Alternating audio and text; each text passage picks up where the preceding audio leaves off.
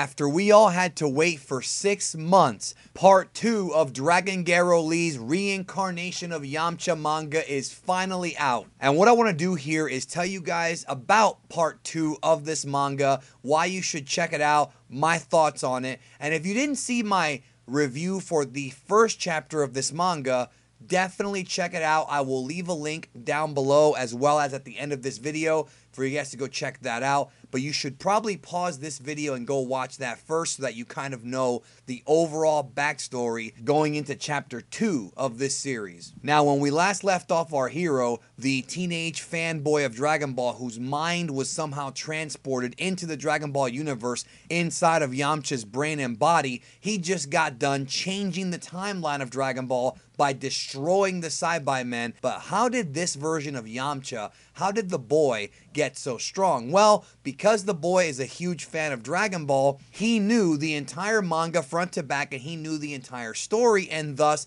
this allowed him to prepare for things to come and have knowledge of things that the characters in the universe have no idea about. And chapter 2 explores that. So, with the knowledge that every Dragon Ball fan has, we discover exactly what it is that was done to make Yamcha so strong. And that is, of course, going first and foremost to planet Namek. So Yamcha speaks with Mr. Popo, and they take the ship that was at Yunzabit Heights, the same one they used in the Namek arc, to go to planet Namek.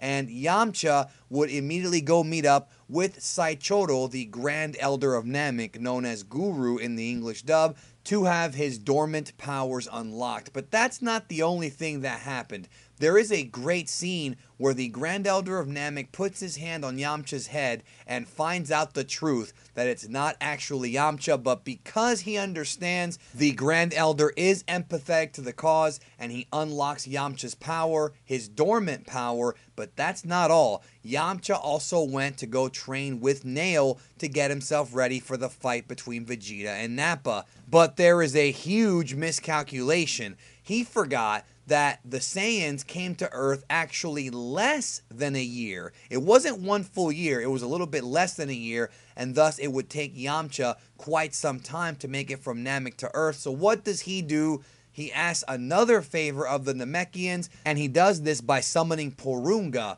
the Namekian Super Shenlong, to transport Yamcha from Namek to Earth in time to fight the Saiyans. So we cut back to the present time in the story, and Vegeta reads his power level, and surprising everybody, Yamcha's power is over 10,000. And Nappa says there is no way that an Earthling can be that strong. It must be broken. And Yamcha's like, nah, bro, I really am that strong at this point. So Nappa attacks Yamcha blindly, and Yamcha blows Nappa away with a Kamehameha. One shot, dead.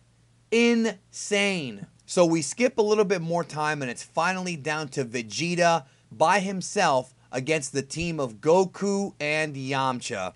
And Yamcha comes up with a plan to distract Vegeta while Goku delivers the final blow. So Yamcha rushes in and starts to fight Vegeta with great vengeance and furious anger, screaming that he's not gonna let Vegeta steal his woman away. I won't let you steal her. And Vegeta's like, Bulma, what the hell are you talking about? What the heck is a Bulma?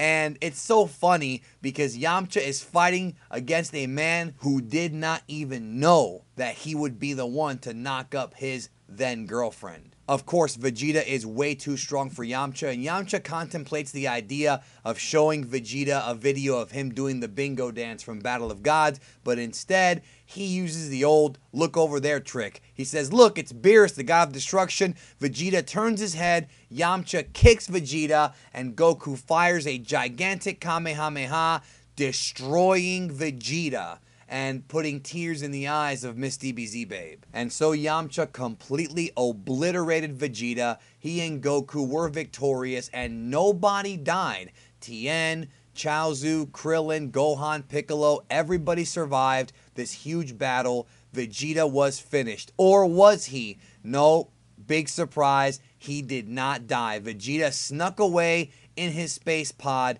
to be seen again in the future, maybe he survived. So even then, the future was not changed. But Yamcha realizes that, wait a minute, the future sort of was changed. It starts to think about the fact that Vegeta would eventually give birth to Trunks, and Trunks would eventually save Goku's life. So at the end of the day, Yamcha can't kill Vegeta. And Yamcha also knows that Vegeta would be very important in future battles with future villains. So at the end of the day, even if he tried to change the timeline, it would actually end up being for the worse because we need Vegeta to impregnate Bulma, give birth to Trunks, to create the heart virus medicine, and well, you know all that. But the manga chapter ends with a huge cliffhanger because amongst our heroes, there is another being who has the same key as Yamcha, and apparently he's been through this many, many times.